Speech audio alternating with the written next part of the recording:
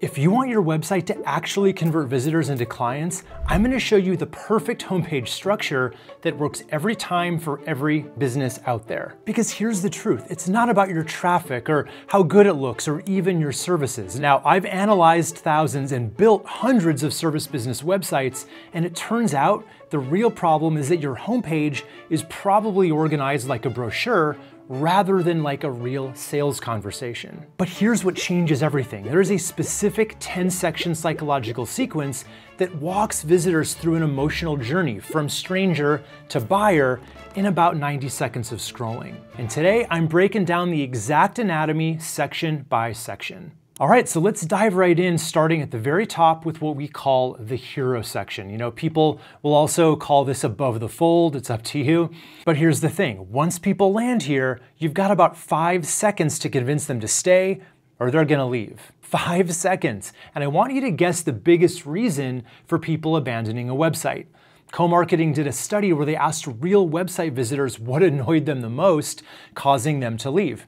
And it turns out the biggest reason wasn't pop ups or even slow loading pages, it was a lack of message. In other words, the websites that didn't make it crystal clear what they can do for you and how they make your life better just confuse people enough that they leave. And that means they'll never see the rest of your homepage, no matter how nice it looks or how much time you spent on it. And you'll notice there's a few things going on here, and they each serve a purpose. So let's start with this right here, what we call eyebrow copy. It just sits on top of the headline, and it's there to call out your ideal clients. Are they overworked teachers, busy car owners, unemployed job seekers in Houston? Whoever your perfect client avatar is, name them here so they know this is for them. And that brings us to the headline, and this is where 95% of businesses completely blow it. Your headline needs to promise your client's desire or the problem that you'll solve for them, not just describe what you do. This here is the emotional buy in. An emotion always comes first in buying decisions. And that's not just according to me, that's according to Harvard professor Gerald Zaltman, who researched consumer behavior extensively. So to just focus on the what we do part and not on the what you get part is like throwing 95% of your profits right out the window. So your headline could say something like, you know, get your dream kitchen without the nightmare renovation instead of just kitchen remodeling services. Nobody wakes up wanting kitchen remodeling services, right? They wake up wanting that beautiful kitchen without the hassle. Now, directly below the headline, we have the subheadline. So this is where you finally explain how you deliver on that promise. So this could say something like, you know, Tampa Bay's stress-free kitchen remodeling team from design to installation in just three weeks. Now they know what you actually do. Plus, you've called out your location. If you're a local business, that's really important, not just for local SEO, but also just so people on your page know that you can work with them. And next we have your call to action button. So this needs to be really specific about what actually happens next. Don't try to get cute or clever with it, and don't just say something like, contact us or learn more those are conversion killers because people are just always a little unsure about what that's gonna mean. Are they just gonna be filling out a form and then waiting for you to call them back or what? So it should say something like, book your free design consultation, right? It tells them exactly what happens next. Now here's something interesting that most big businesses that have actually invested in website optimization do that most small businesses skip and that is add some kind of social proof right here in the hero section before you ever have to scroll down at all. You could have a few customer photos like this with text like, you know, join 500 happy homeowners, or you could just put one killer testimonial snippet if you wanted to highlight your best one. And I do like to add this five star graphic just so that it immediately reads as a five star review, even if they were to, you know, skip actually reading the words. And that's important because most people do skim websites. They don't read every word. So we need to lean into that with these little visual indicators when we can. And the image over here, this is really important to, again, help you tell the story more visually. And most businesses really mess this up by either showing people meant to be the workers in the business doing the actual work, or some, you know, woo-woo photo of a person doing this on a cliff. And nobody in the history of the world has ever actually done this outside of a stock photo shoot, by the way. Or they'll do a skyline or an object of some kind. But what you want to show here is the happy results. So if you're a landscaper, don't show yourself mowing a lawn. Show the family enjoying their beautiful backyard afterwards. If you're a financial advisor, show someone relaxing because their retirement is finally secure. Always the after state, never during the messy middle. Always the customer, never you or the people who work for the business. Now, the reason that everything in the hero section is about the client and how their life can be better is because they have to come here and see their story reflected on the page, or they just won't care. Okay, so moving on right under the, the true hero section, you want to add these three little check marks. Now, these are meant to be three quick outcomes or results super short, like, you know, three to four words each. These could be things like beautiful new kitchen, higher home value, zero renovation stress, boom, boom, boom. So these are the actual results they'll get from working with you. Now, this video really isn't so much about design or even layout, it's much more just about the actual content that your perfect homepage should include, but I know that you probably want to see what this would look like on mobile too. So I am going to show you each section as we go on both. So just see how everything stacks vertically. The key difference here is making sure that that call to action button stays above the fold, meaning it's going to be visible without them having to scroll. Because mobile visitors are even more impatient than desktop users, so if they have to scroll to find out what to do next, you may have lost them. Okay, so next up we have the section that just bluntly brings up the main problem that your ideal client is currently feeling. Now to do this right, you do need to actually know the problem that you solve. And for some businesses, this is a complete no-brainer, but for others, it can be really easy to fixate on the wrong problem, so it's usually worth doing some really thorough client research and it's pretty easy. I actually just use ChatGPT with the deep research feature to help me figure that out. But once you know the problem, you need to go a little further and agitate it by bringing up some of the symptoms of the problem. You know, I've got that here as bullet points, which can work really well. You can also do it as just a few short paragraphs, whatever feels best for you. Now, I do get pushback on this from some business owners who say, well, you know, I don't want to go negative or be a fearmonger.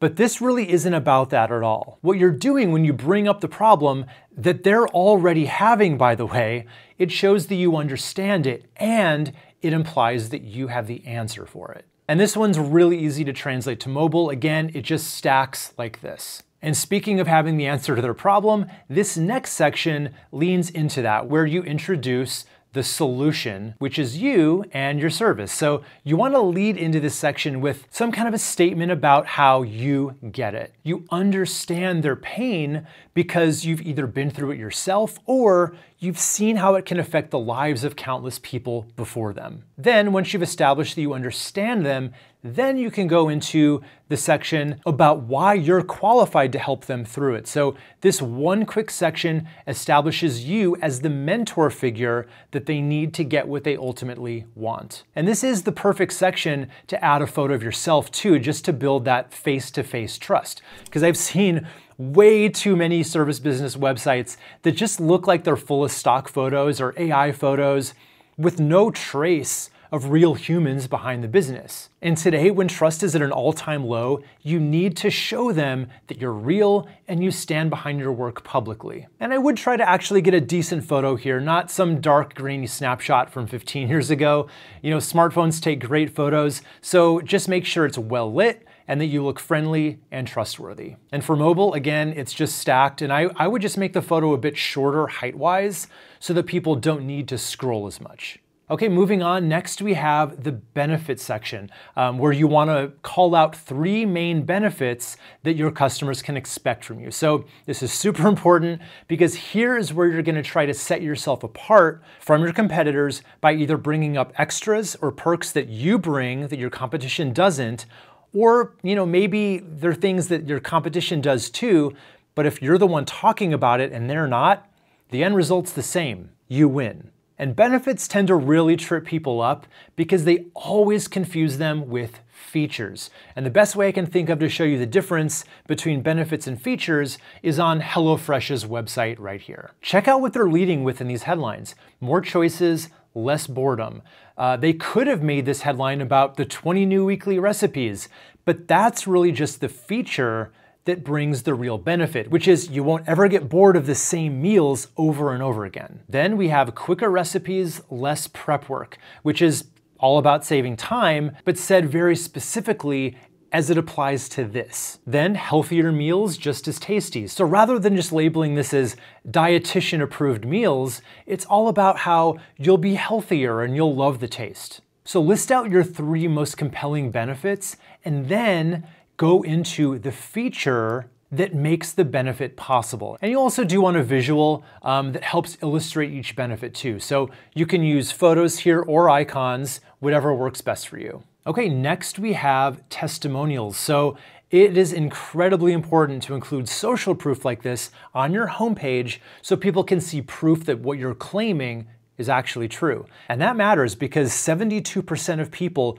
will only take that next step with you after reading a positive review. So I like to include three here, so try to find three testimonials that actually do a good job saying something that's gonna help someone, you know, either overcome an objection or talk about a pain point, or one that talks about the outcome or the result that the rest of your page is promising. So what we don't want here are those bland, you know, great service, highly recommended testimonials that don't really say anything. Every testimonial on your homepage needs to say something specific to earn their place here. And please keep them short, like this amount of text I have here is pretty much what you wanna shoot for if you can. Then include their photo if you can get their permission to use it. It just helps it hit harder because, you know, hey, if this person's willing to publicly stand behind this review, I can trust it, right? And again, you wanna use a five-star graphic here is just visual shorthand for people to see that this is, in fact, a glowing five star review. And to pile on to the social proof, if you happen to have a bunch of great reviews on review sites like you know Google or Yelp, whatever that is, you can always drop a line like this right down here using those review site logos just to show people that they're safe choosing you because lots of other people have gone before and they all had a great experience. So now people know how you can help them, and they've even seen proof that it works, but some people still may not be sure how this all works, and that uncertainty can kill a sale. That's where the simple three-step section comes in to show them how easy it's gonna be on them to not only get started, but to get to the finish line. And this is psychological gold. People are terrified of complexity, and if working with you seems complicated at all, they'll find someone else even if you're better. And yes, you want exactly three steps here, not four, not five, three. And here's the formula that always works. So step one should always be them taking action.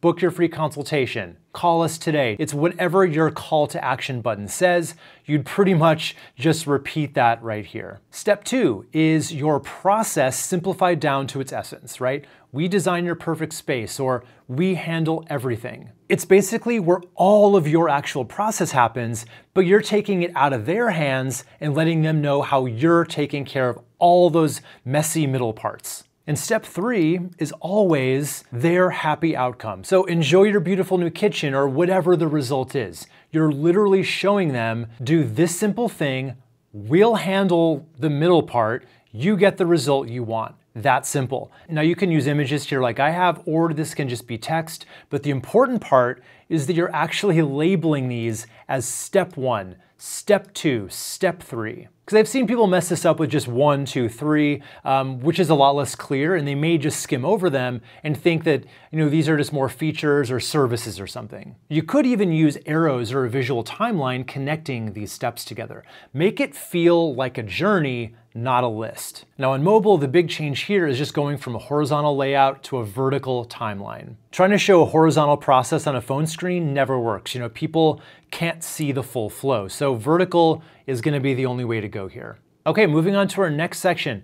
This is where you're really gonna separate yourself from your competition. I call it the flex section for two reasons, because this is where you get to flex your unique advantages, and it's also pretty flexible in how you present it. So you've got two options here.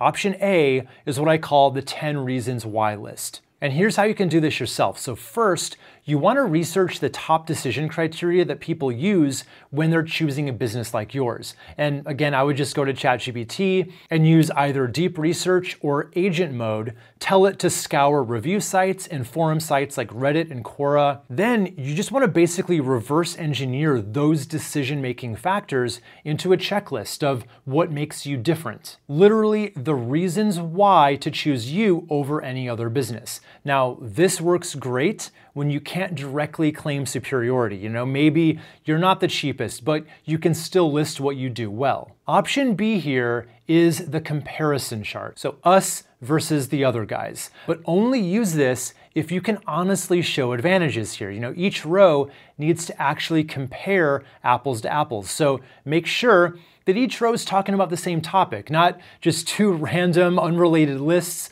of the things that make you good and the things that make them bad. And again, with the visual indicators, you want to visually show that your list is good and theirs is bad with little icons like this. Traditionally, green means good, so don't get too caught up in using your brand colors here. I would stick with the classics because people know what it means. Green is good, and red or even you know grayed out like this means bad, or at least worse. And the icon choice here matters too. Check marks literally mean check, we've got that, and the X means they don't, obviously. So don't just choose random icons, these tend to work the best. Now on mobile, the comparison chart can get a little tricky. You'll need to get creative to make it work. The 10 reasons list translates a lot easier, it just becomes a narrower checklist. Okay, next we've talked about benefits and features, and this is where those plain old features are gonna go. Um, think of this like the tech specs for a TV that you're gonna buy online. So you may be saying, but I thought benefits were the important thing, not features. And yes, benefits are more important than features in general, but remember that Harvard professor earlier who found that almost all buying decisions are made with emotion first? Well, that's only part of the story because for some people, they then need to back that emotional decision up with logic before they're gonna buy. So this is the part where we let those extra analytical people justify that emotional buy-in by seeing exactly what they're gonna get. So here's where you'd put things like, you know, free design consultation, 3D renderings, all permits handled, daily cleanup, and 10-year workmanship warranty. So I usually like to put anywhere from 10 to 20 features here, either in a simple bullet list or like this with icons for each one. Okay, next we have frequently asked questions. Now, yes, this is used to proactively answer common questions that people ask you all the time, which is just gonna help qualify people in a little easier. But more importantly, this is a place to proactively handle objections that they may have too. So think of this section as almost like a virtual salesperson on your homepage, making the case for your business as airtight as possible. So what are those five or six questions that people need answered or objections that they're gonna need settled before they feel comfortable taking the next step. Just write each out as a question, then address each one with your answer, or if it's an objection, what's your best rebuttal against that objection? Okay, and next we have a really simple call to action section where you just ask them if they're ready to get started or, you know, some version of that. Try to make it specific to their dream outcome. And then you're just gonna repeat the same call to action button as you had in the hero section. But guess what? That's just the homepage. There's definitely more to a website that converts visitors into paying clients. So I want to invite you to my free on-demand masterclass how to build a client generating website that sells your services for you. Just click right here and you can get immediate access to my most in-depth video training yet, where I'm gonna show you what you need on your website, what to take off right now that's hurting your ability to get leads, and how to seamlessly bring it all to life in just one weekend. So click here, and I can't wait to show you how easy it really is.